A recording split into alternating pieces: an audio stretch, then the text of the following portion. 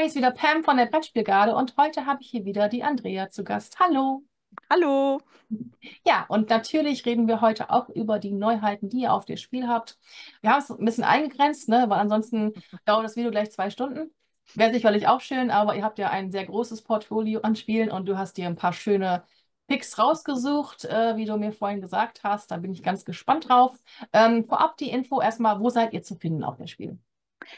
Ähm, wir sind zu finden auf der Spiel, wo wir letztes Jahr auch waren. Das ist die Halle 6 und das ist der Stand B300. Das ist tatsächlich exakt die gleiche Fläche wie letztes Jahr. Ja, und man kann bei euch Spiele testen, man kann Spiele mitnehmen.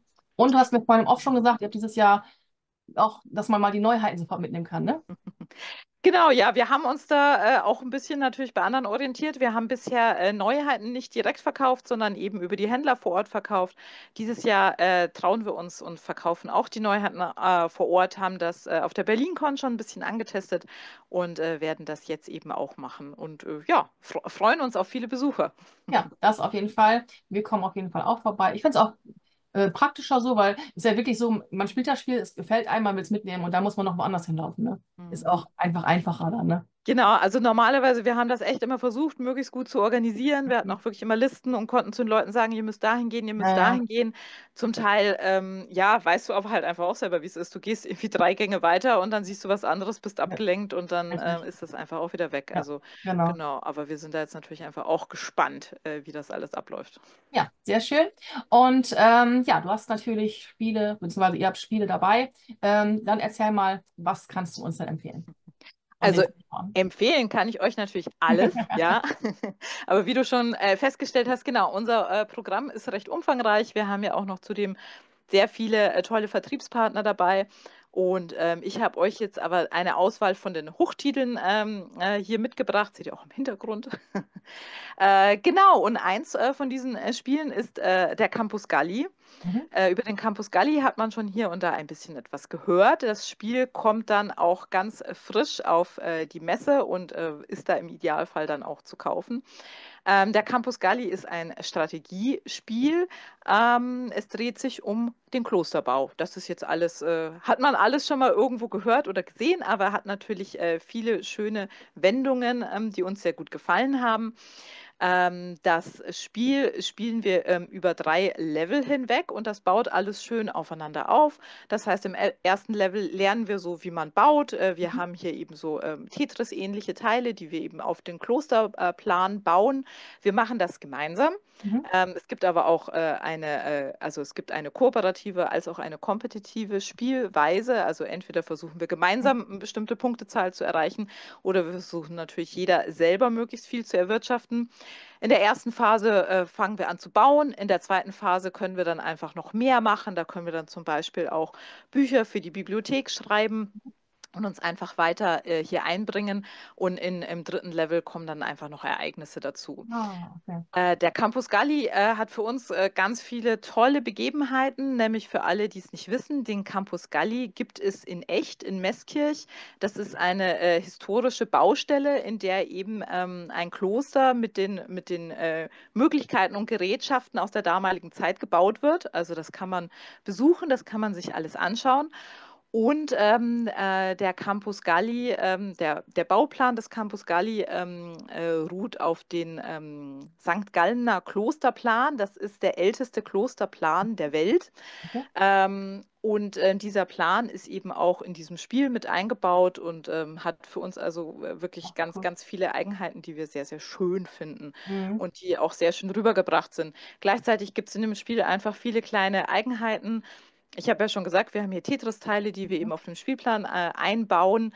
Ähm, sollte ich, sollte ich eventuell ein bisschen mies gebaut haben und ähm, so viel Platz auf dem Spielplan übrig haben, dass es nicht mehr möglich ist, da ordentlich einen Teil einzubauen, ähm, dann muss ich eine Spielfigur von mir dort platzieren. Das ist dann ein Mönch, der sich da zum Schlafen hingelegt hat. Ach. Das fanden die vielleicht auch ganz gut, bringt mir aber Minuspunkte, wenn das passiert, weil das, das, das mhm. sieht keiner so gern, wenn die Mönche ja, da ja. sich hinlegen, schlafen. Mhm kann ich auf eine andere Art und Weise wieder ausgleichen, äh, aber hat für uns so äh, einige Augenzwinker dabei, die wir Mhm. sehr, sehr schön finden. Klingt auf jeden Fall interessant, vor allem auch geschichtlich interessant. Jetzt haben wir richtig Fall. was gelernt hier bei dem Video Genau, und ihr könnt natürlich auch nach Meßkirch auf die Baustelle fahren und euch das da auch anschauen. Das ist auf jeden Fall auch ganz, ganz toll. Und durch diesen ganzen Hintergrund und dadurch, dass das eben auch alles sehr schön angefüttert ist, ähm, ähm, gibt es da einfach auch viele, ähm, äh, viele, viele Unterstützer von dem ganzen Mhm. Projekt, also eben St. Gallen eben voran. Äh, wir hatten, ähm, der Autor Steffen Bogen hatte äh, jetzt ähm, am Donnerstag erst noch ein Interview auch mit dem SWR dazu, also da passiert auch viel drumherum. Ja, witzig. Ich würde wahrscheinlich die kooperative Variante vorziehen, weil ich bin immer sehr schlecht in Tetris gewesen. Also deswegen, es baut schön aufeinander auf und Mhm. gerade im ersten Level ist es eigentlich sogar ein Familienspiel, äh, aber es wird halt einfach immer umfangreicher und Ah, okay. umfassender. Deswegen, also es, äh, glaube ich, äh, komm, kommst du gut rein. Kannst du mir dann danach mal sagen, ob du wirklich im Ja. kooperativen Modus lieber spielst? Okay, das mache ich. Und das geht dann sonst mehr so ein bisschen in Richtung Kennerspiel schon, oder? Also es, es ist ein Strategiespiel. Mhm. Ich finde, durch den Einstieg ist es einfach sehr, sehr gut gelungen und sehr rund. Ähm, ja, Strategiespiel, Kenner, Kennerspiel ist ja dann meistens einfach schon noch, noch, Mhm. noch mal mehr. Also ich glaube, es ist ein sehr, sehr gut ausgewogenes Strategiespiel. Mhm. Ja. Ja. Ja, wir sind auf jeden Fall gespannt drauf. Und du hast natürlich noch was dabei. Ähm, genau, ich bleibe noch beim Strategiespiel. Ähm, die meisten werden es hoffentlich ja schon mitgekriegt haben. Wir haben äh, von den Rajas of the Ganges ein neues Spiel am Start. Wohlgemerkt ein komplett eigenständiges Spiel, keine Erweiterung. Das Rajas of the Ga Ganges Cards and Karma. So. es ist ein Kartenspiel Mhm. ähm, und es ist die Kartenspielvariante von Rajas of the Ganges. Und wie auch beim Würfelspiel vorher ähm, lehne ich mich gerne so weit aus dem Fenster raus, dass ich sage, es ist ein komplett eigenständiges Spiel. Du kannst es spielen, wenn du das Grundspiel nicht kennst, ähm, aber es hat äh, ga, die, ganzen, die ganzen Themen aus dem Grundspiel dabei. Es geht nach wie vor um Ruhm und, äh, und, und aber eben auch um Ruhmespunkte. Ähm, ich kann äh, nach wie vor Gebäude bauen, ich kann äh, Rohstoffe erwirtschaften, ich kann Palastaktionen machen und das Ganze aber eben als ein Kartenspiel umgemünzt, äh, als eigenständiges, wunderbares äh, neues Mitglied in der Rajas-Familie. Mhm. Ja. Es kann gar nicht genug Spiele mit dem Thema geben. Natürlich auch wieder von Inka und Markus Brandt. Also, Genau, ne? genau. Ich bin auch schon am überlegen, was gibt es denn noch, was sie noch nicht gemacht haben mit dem Thema dann, ne? Ist gar nichts mehr über, glaube ich. Oder vielleicht so ein Flipspiel oder so. Ja, ja, ja. Also ja, genau. Also mal gucken, mal gucken. Wir, wir warten mal ab, was, was, was, was Inka und Markus noch dazu einfällt. Aber ja, das ist auf jeden Fall echt eine, eine ganz tolle Variante äh, von der Rajas of the Ganges. Und äh, wenn uns äh, denn die Logistik auch treu ist, ähm, dann können wir es auf jeden Fall auch schon in Essen verkaufen und hätten dann eben auch, wenn dann alles gut läuft, äh, immer kurz vor Essen sagen alle Verlage, äh, wenn alles gut Mhm. läuft, ähm, dann werden wir auch ein kleines Goodie noch dabei haben. Es gibt äh, den äh, Startspieler Elefanten. Bei uns intern ist das der Statufant. Und äh, der Statufant ist eben im Spiel selber als Plättchen und haben wir aber dann auch als kleinen Ah. Token noch dabei, den man dann eben auch zum Spiel dazu bekommt bei uns. Mhm. Ja, sehr cool. Statufant, witziges Wort, ja. Ja, äh, wir, wir müssen manchmal aufpassen, dass, dass das auch noch irgendwie Mhm. anders heißt. Für uns ist der Statufant. Steht sogar aber auch in der Anleitung als Statufant. Ah, Also, okay. Ja. Neue Tierrasse. ja, genau, eine sehr wichtige Tierrasse, würde ich Ja, auch. eine Brettspieltierrasse. Ja, Ja, damit sehr könnte schön. man doch was machen. Auf jeden Fall. Ja, sehr Ja. schön. Und Genau, und ähm, jetzt hatte ich zwei Strategiespiele und äh, gehe noch zum Familienspiel über. Da habe ich das Spiel Clans and Glory für euch dabei. Äh, in Clans and Glory ähm, äh, sind wir in den schottischen Highlands und sind hier auf einer großen Versammlung. Und äh, bei einer Versammlung geht es ja auch oft darum, wer sitzt denn wo. Mhm. Letztendlich haben wir hier eine große Tafel vor uns ausliegen. Jeder Spieler hat Karten auf der Hand von Clanmitgliedern, die haben eine bestimmte Farbe und einen bestimmten Wert. Und wir platzieren die Reihe um an dieser Tafel, können auch auf die einzelnen Tafeln noch ein Schild von uns legen ähm, und möchten einfach bei Spielende unsere Karten so verteilt haben, dass wir möglichst viele Punkte bekommen. Es Mhm. gibt dazu natürlich irgendwie äh, einige Kniffe und äh, einige Möglichkeiten, meinen Mitspieler zu ärgern. Ist aber auf jeden Fall ein, ein flottes, sehr schönes äh, Spiel, auf das wir uns sehr freuen. Mhm. Ja, klingt auf jeden Fall auch sehr schön. Ich finde auch, ihr habt immer sehr schöne Familienspiele, auch gerade so kleine mit so einem besonderen Kniff. Overbooking Ja. so ein Kandidat.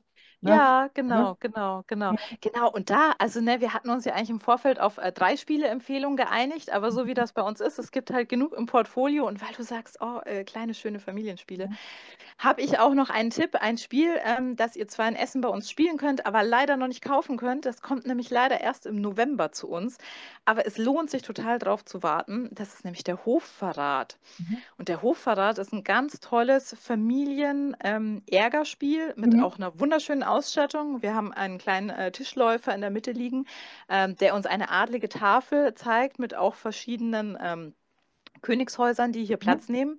Und ähm, es ist total einfach, was ich in dem Spiel mache. Ich habe in dem Spiel drei Karten auf der Hand und immer wenn ich dran bin, muss ich eine Karte an die königliche Tafel legen und einer Familie zuordnen. Eine Karte spiele ich bei mir aus und eine Karte spiele ich bei einem Mitspieler dazu. Mhm. Wir haben dabei äh, ähm, geheime Aufgaben. Wir möchten zum Beispiel, dass eine bestimmte Familie in Ungnade fällt oder wir möchten, dass eine Familie besonders angesehen ist. Mhm. Und das können wir halt mit jedem unserer Züge hier beeinflussen. Und das ähm, funktioniert wahnsinnig schnell. Es ist immer wieder witzig beim Erklären, wenn man sagt, du hast diese drei Karten und diese drei Karten verteilst du. Und das ist es.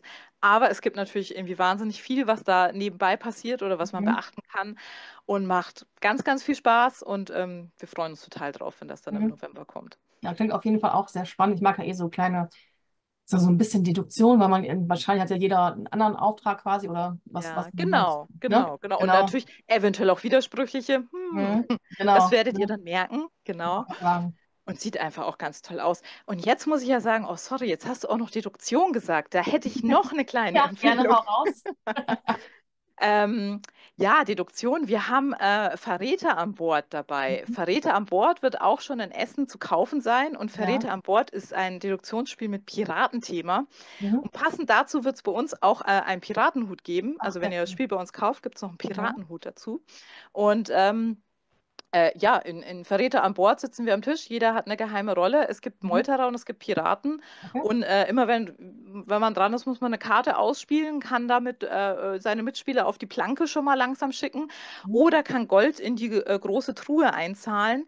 Die Piraten möchten diese Goldtruhe irgendwann öffnen und einen bestimmten Wert an Goldmünzen da drin finden. Ja. Und die Meuterer möchten, dass die Piraten diese äh, Truhe äh, zu früh öffnen oder öffnen mit dem falschen Wert und so weiter.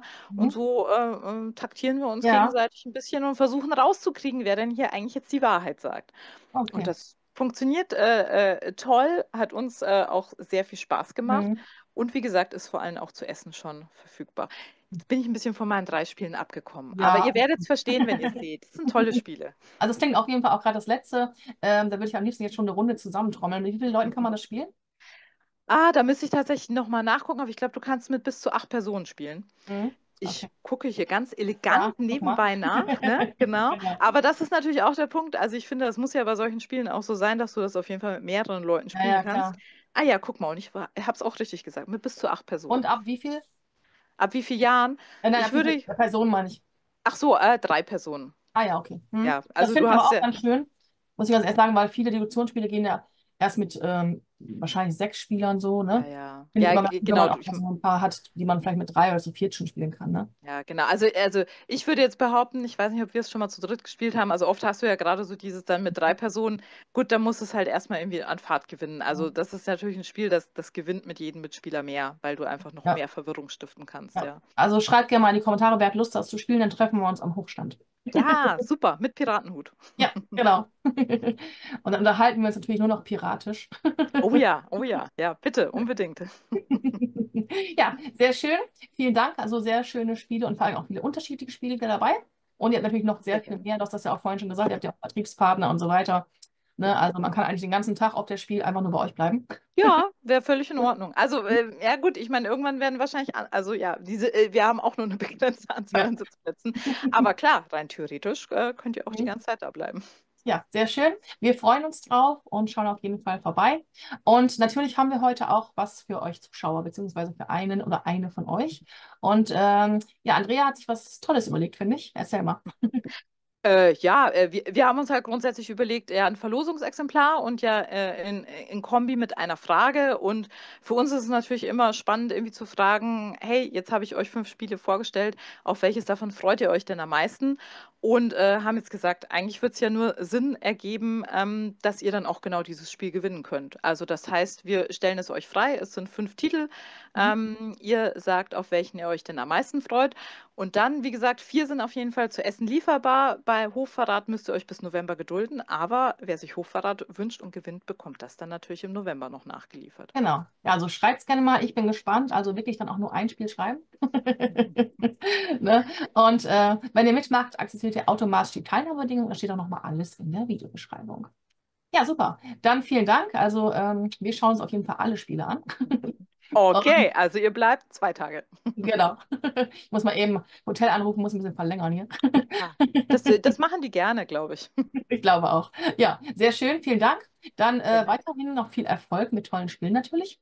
Wir sind gespannt, was dann auch zum Frühjahr wieder rauskommt und so weiter und bleiben natürlich am Ball bei euch. Und ja, dann vielen Dank. Und dann bleibt mir zu sagen, dass ihr mich dann spätestens im nächsten Video seht. Alle für Brettspiele. Und ein Brettspiel für alle. Bis dann. Tschüss. Super, danke. Tschüss.